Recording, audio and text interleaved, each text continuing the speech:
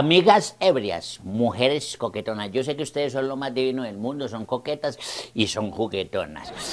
Imagínense ustedes mandándole foticos desnuditas al novio, al amigo, al amigo y, y- y tomándose las fotos.